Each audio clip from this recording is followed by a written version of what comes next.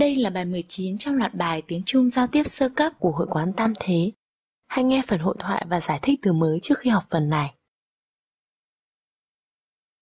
Hãy nhắc lại tên nhân vật Trung thôn. Trung Xuân Mary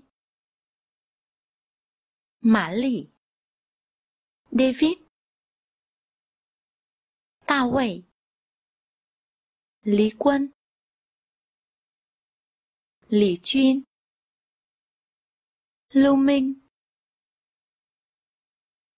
Liễu Miếng. Liễu Miếng. Vương Tiểu Vân. Wang Xiaoyun Xiao Yến. Hay nghe từ thời tiết. Thiên chỉ. Âm Hán Việt là thiên khí.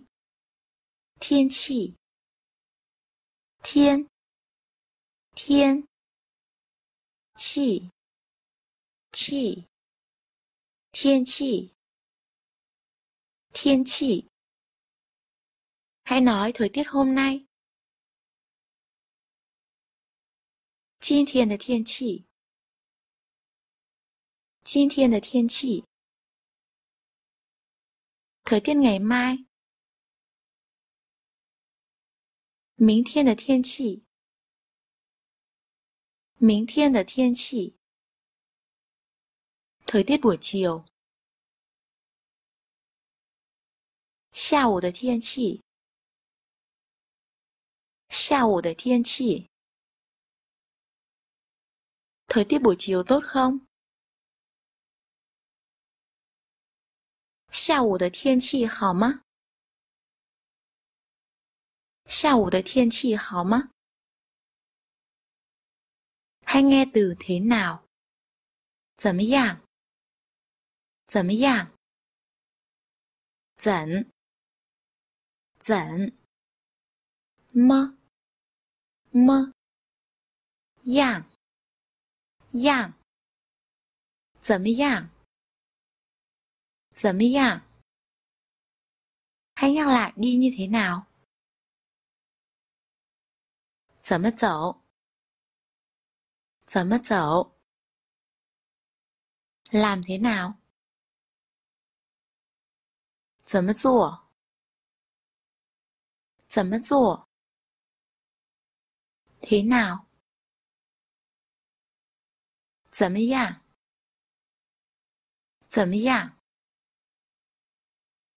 Thời tiết thế nào? 天气怎么样？天气怎么样？Thời tiết hôm nay thế nào? 今天的天气怎么样？今天的天气怎么样？Chẳng ra làm sao cả. 不怎么样。不怎么样。Thời tiết chẳng ra làm sao cả. 天气不怎么样。天气不怎么样。Con người anh ta chẳng ra làm sao cả. Nguyên văn là anh ta, người, chẳng ra làm sao cả. Tha rấn bù怎么样? Tha rấn bù怎么样? Thời tiết ở Việt Nam thế nào?